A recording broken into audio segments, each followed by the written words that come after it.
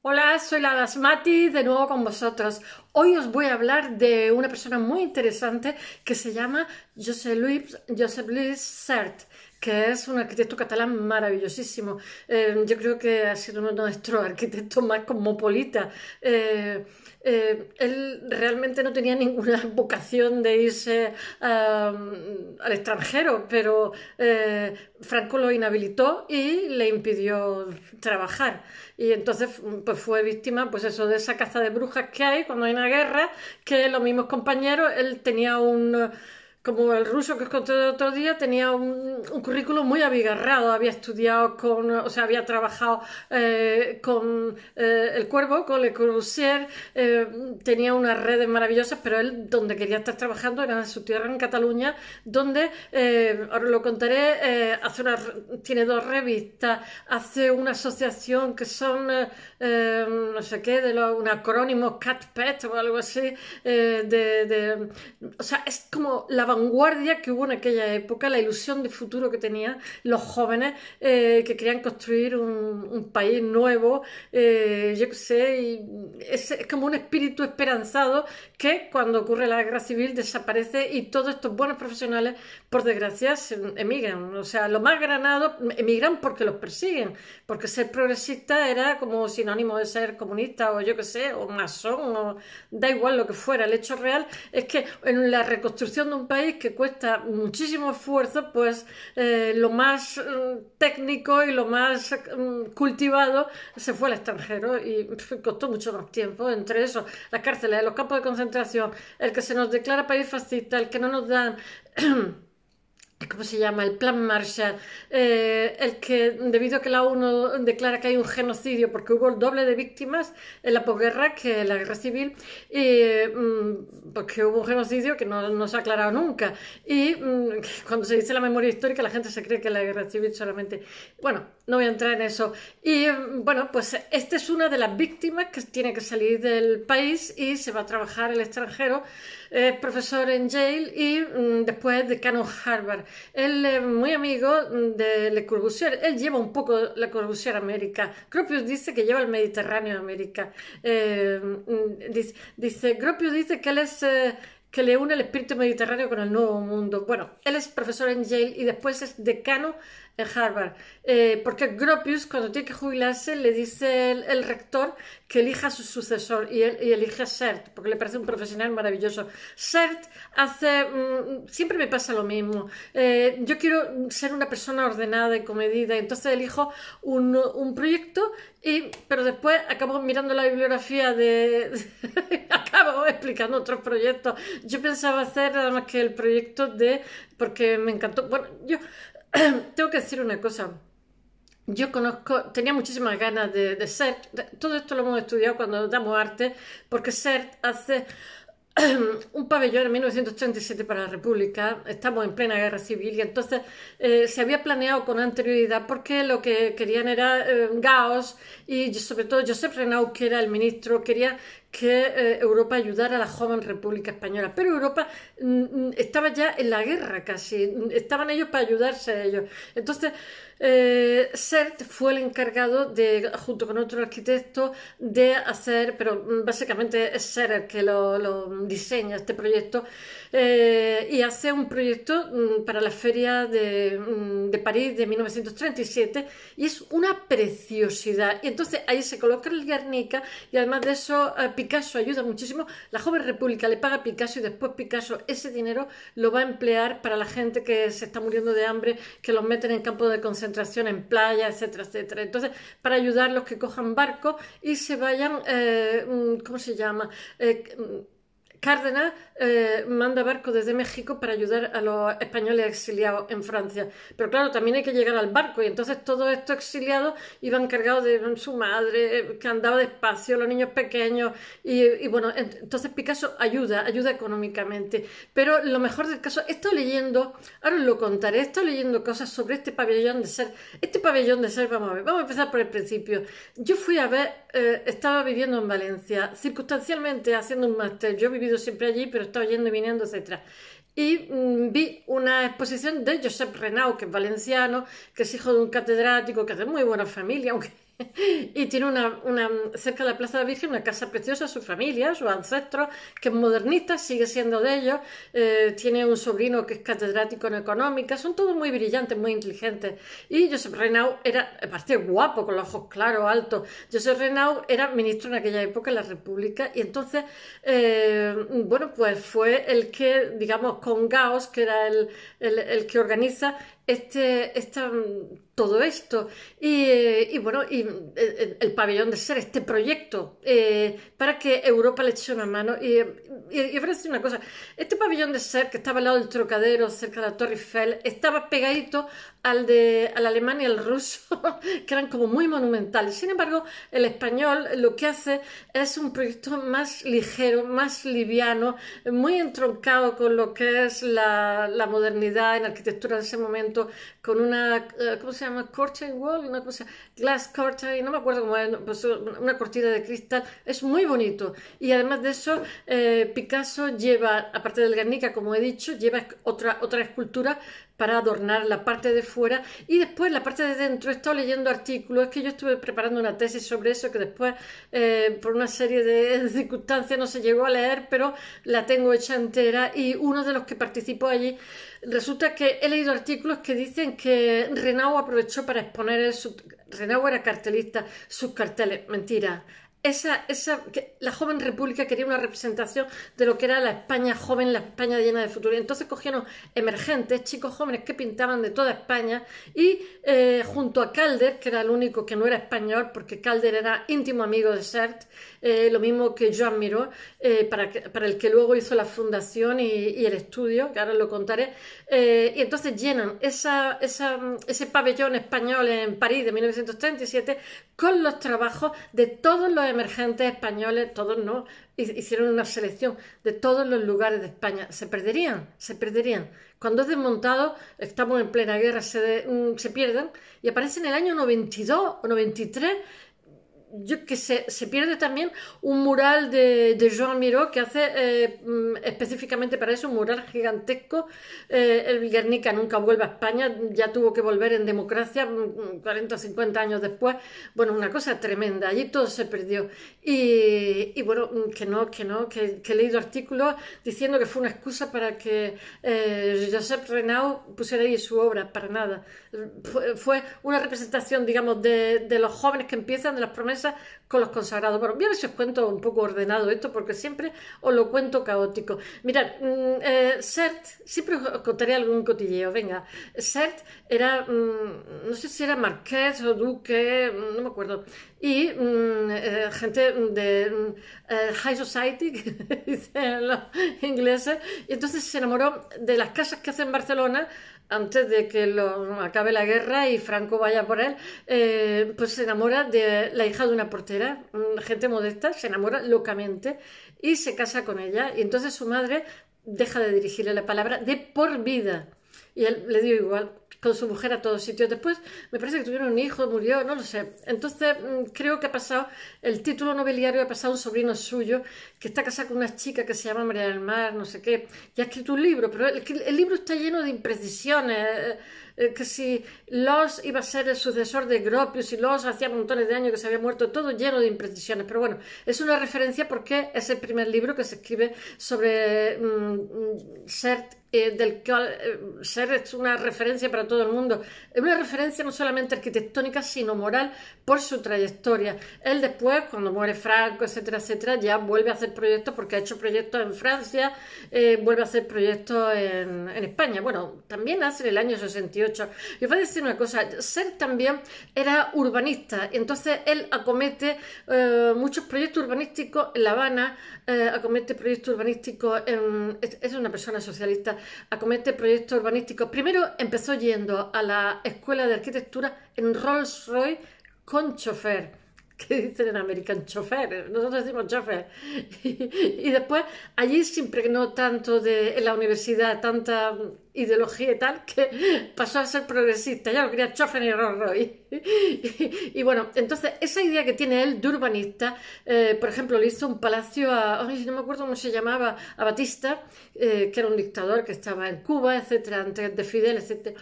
Pero eh, se lo reprocharon un poquito, pero él dijo, bueno, es que este palacio me va a permitir em, hacer un plan urbanístico en La Habana. Y no sé si era por los años 40, por ahí, años 40, 50, entre 40 y 50, no me acuerdo bien la fecha, ahora lo diré. y entonces dijo, Mm, eh, Batista se morirá, yo me moriré, pero este plan urbanístico que voy a hacer en La Habana va a permitir que la gente viva en mejores, en mejores condiciones de vida, más salubre, entrada de agua, alcantarilla, etcétera, etcétera. Y eso lo hizo también en Río de Janeiro, lo hace también en Lima, pero son, ya os digo que son planes urbanísticos para la ciudad. Y tenía uno preparado para Barcelona, y claro, como le pilló la guerra, pues nada, ajo y agua.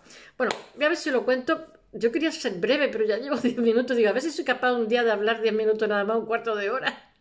Pero es difícil, es, complicado. He puesto en el blog muchísimas, muchísimas fotografías sobre el Guernica, sobre Sert. A todo esto, la exposición se inauguraba, lo que he contado, la, la, Feria de París de 1937, se inauguraba el, el, día 1 o 2 de junio, y entonces se pone Picasso a hacer el Guernica el 1 de mayo.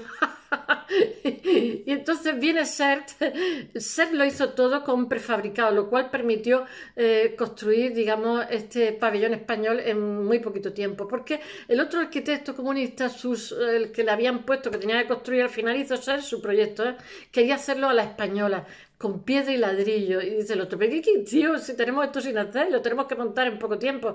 Y entonces hizo un proyecto preciosísimo que yo he visto la maqueta, por eso estoy contando que me apetecía hacer ser, porque yo fui a ver la exposición de Josep Renau, y entonces sacan de su vida, sacan una, una maqueta grandísima del pabellón de ser, y me quedé, ¡buah! Que ya pasé de ver a Renau, que me sé su obra muy bien, que era cartelista, cartelista se va a México y allí, bueno, pues trabaja con Siqueiro, eh, trabaja, él, es un maravilloso cartelista, un maravilloso artista.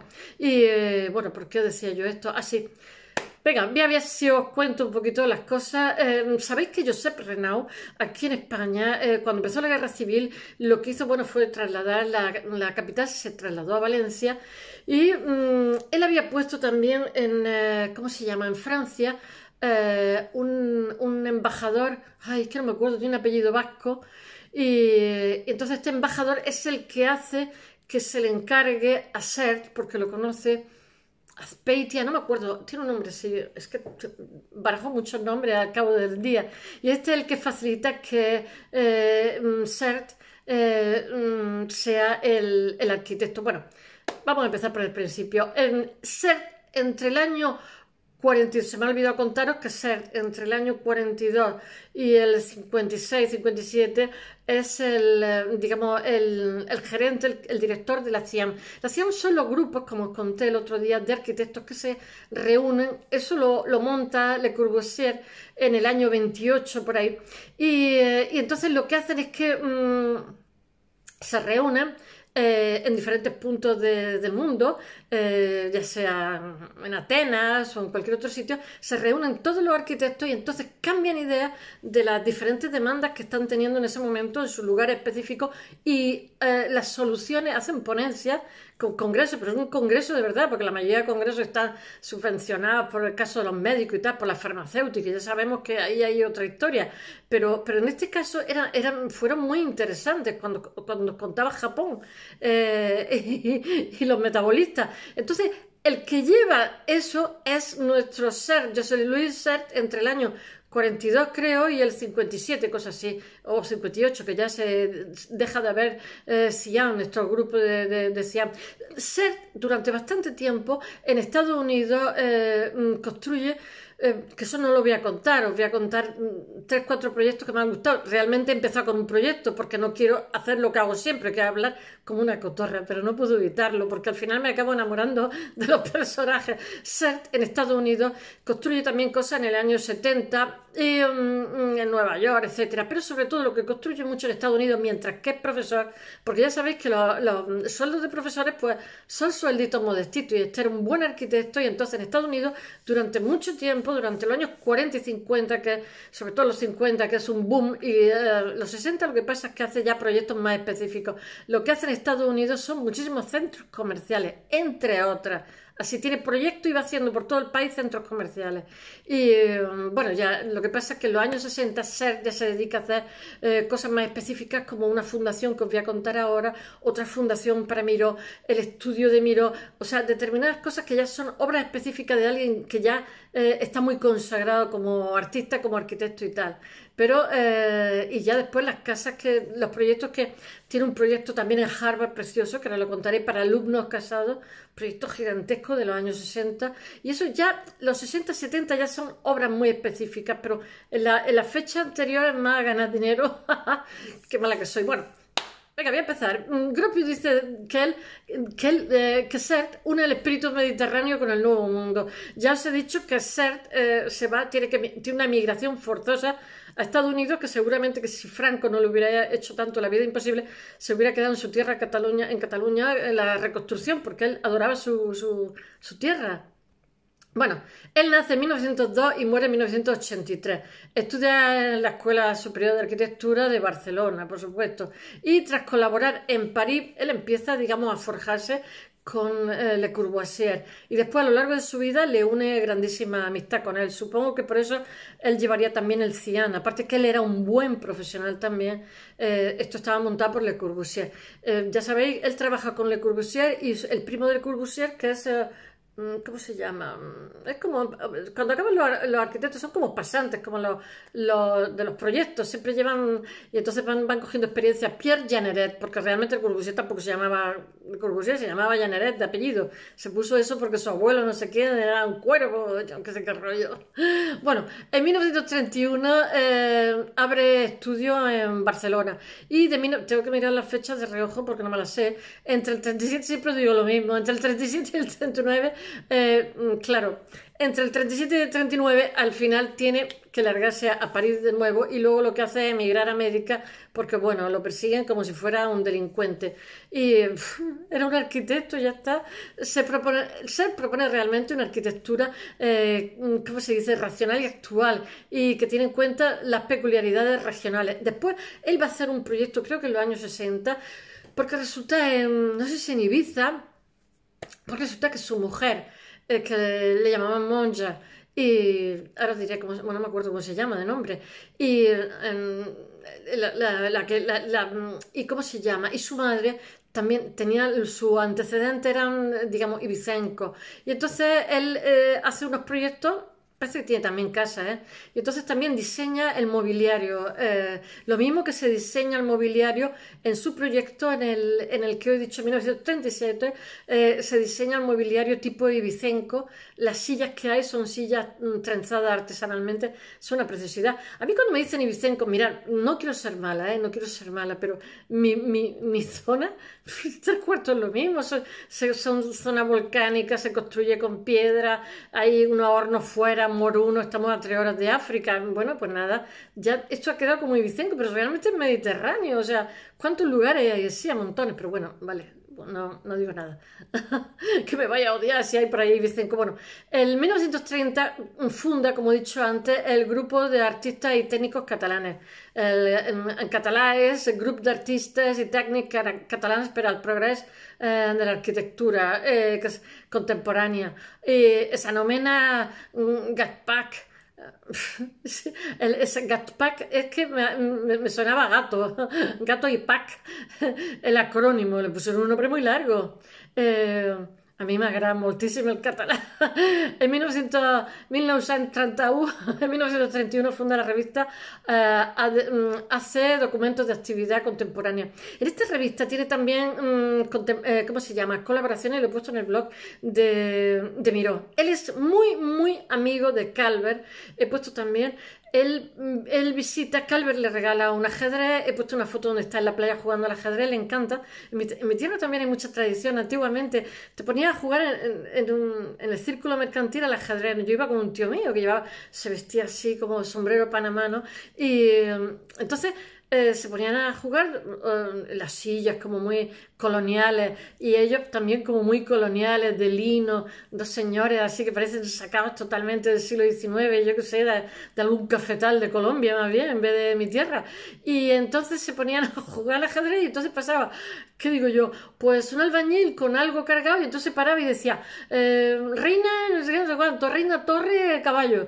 Y, y decía el otro, cállate, mendrugo. Y claro, ya le había dado la clave, la gente era muy aficionada a jugar al ajedrez y, entonces observaban estos dos jubileillos que eran torpones y les daban las... no le gustaba nada. Después pasaba un tío con un saco y le decía, Torre Reina, no sé qué, que estás tonto. Y el anda y sigue trabajando.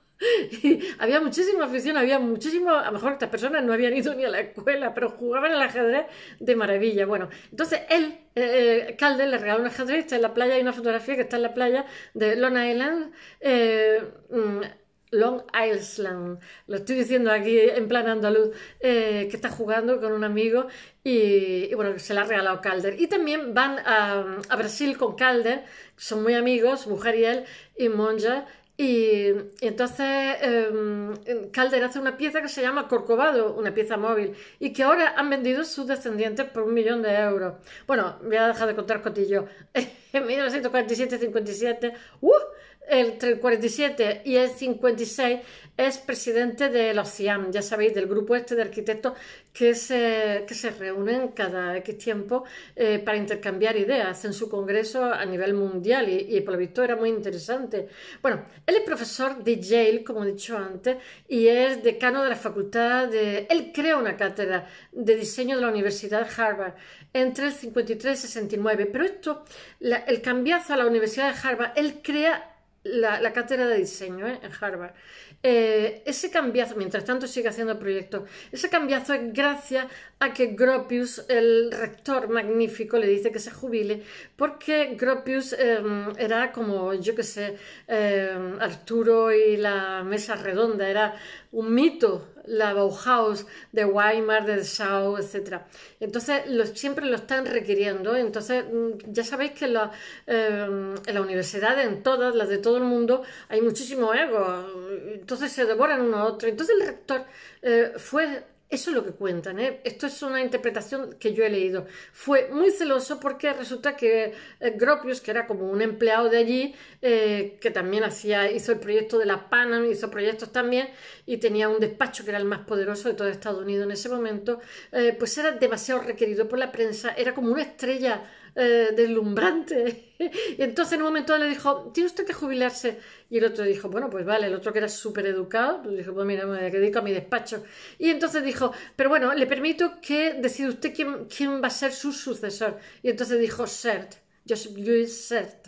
Y, entonces a raíz de eso, Sert se va a Harvard y eh, entonces él ya era docente, ya era profesora de tiempo anterior, eh, ya lo he dicho, en Yale. Y, y, bueno, mm, pues que está desde el 53 hasta el 69 que se jubila y Ser se interesa muchísimo, lo he dicho antes, por el urbanismo. Él piensa que unas mejores condiciones, casi todos los buenos arquitectos eh, se fascinan mucho por el urbanismo, que ya sabéis que un poco es París del siglo XIX y tal, las soluciones a las que se llegan eh, para que una ciudad, porque las ciudades tienen unos crecimientos ilimitados y claro, tiene que haber una infraestructura para que esa vida, las infraestructuras son caras y, y no se ven porque lo, claro, los políticos no son muy amigos de hacer ese tipo de cosas eh, porque ellos lo que quieren son obras faraónicas que los publicite eh, y entonces muchas veces a costa de que hay una bolsa de pobreza que se perpetúan en las ciudades. Bueno, eh, entonces mm, él participa, es, nuestro ser participa, como he dicho antes, en un plan para Barcelona entre el 33 y el 35, un plan urbanístico, porque había muchísimas, ya sabéis que Barcelona En un momento dado, Alfonso XIII decide los Borbones eh, mm, promocionar para que nuestro país, que es un país agrícola, sea un país eh, industrial, deciden eh, potenciar, hacen como una Y, que eso lo cuenta Tamames, entre el País Vasco, la hilaturas catalana y Cartagena. Y mm, cuando realmente eh, había también eh, temas de, fundiciones y tal en otros sitios, en mi tierra, en Málaga, que eran rentables. Entonces el resto del país lo convierten en granero de, de, estos, de estos sitios. Entonces, digamos, el Estado invierte en determinados puntos, como si fuera la ruleta, y a los al resto que ya apañáis. Entonces, ¿qué pasa? Que había muchísima inmigración eh, em, a Cataluña, muchísima inmigración y muchísima inversión por parte del Estado. Ojo, ha habido siempre a Cataluña, al, al País Vasco y a Cartagena. Entonces había un continuo flujo de inmigrantes. Y entonces eso qué pasaba? Pues que generaba em, muchísimas em, desigualdades, o sea, hacía que las capas sociales fueran cada vez más distantes, o sea, los ricos más ricos, los pobres más pobres. Entonces, de alguna forma, ya sabéis que en el SFL, SPC del, del siglo XIX del liberalismo, que todo el mundo apela al liberalismo, el Estado tuvo que poner un freno, porque eh, lo que os digo, o sea, un, grupo de gente se hizo muy, muy rico y los pobres se hicieron más, más pobres.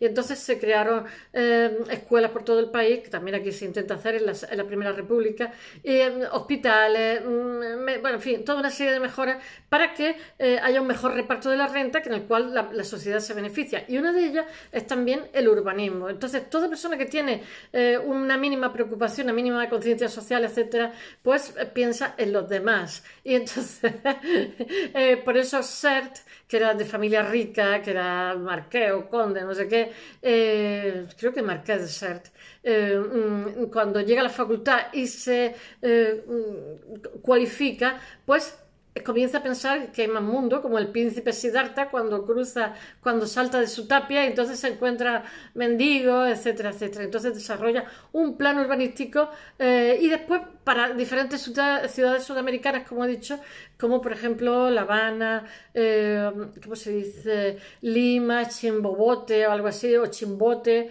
etcétera. Bueno, un montón de ciudades. Y él dice que, que, bueno, que él morirá, que morirán los gobernantes, pero que la gente que nazca allí y tal, con esos beneficios lo recordará. Y qué bonito lo que decía, ¿no?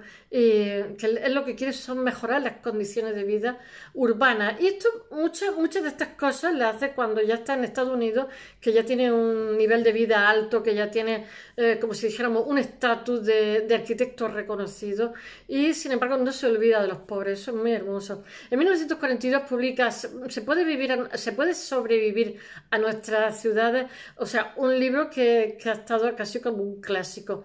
Bueno, mm, libros que no han perdido actualidad. Bueno, él eh, hace un eh, pabellón español que he dicho antes, en 1937, donde hay unos marcos de acero y, eh, unas cristaleras que son maravillosas. Y bueno, está totalmente, ya lo he dicho, lo construye, pero es liviano, no es monumental, es eh, tuvo muy buenas críticas, siempre ha quedado como en el mito de, lo que fue, de esa vanguardia que hubo en España, de gente cualificada, con mucha ilusión de futuro y mucha ilusión también eh, por los, mm, más desposeídos.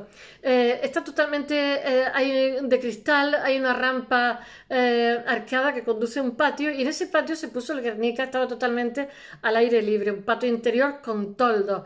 y a diferencia de otras construcciones, la mayoría de gente que llevó eso murió en la guerra y la mayoría de cosas que hay ahí dentro, salvo las cosas de Picasso que vivía en París, se perdieron.